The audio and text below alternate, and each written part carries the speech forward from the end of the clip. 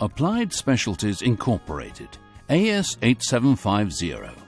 In this treated versus untreated comparison, it's plain to see that the sample previously treated with AS8750 prevents the agglomeration as seen in the untreated sample. The treated sample has significantly higher surface area, meaning an average 30 to 35% more available slurry. The treated slurry also will not stick to equipment surfaces, meaning reduced maintenance. Untreated slurry forms scale over time in associated piping.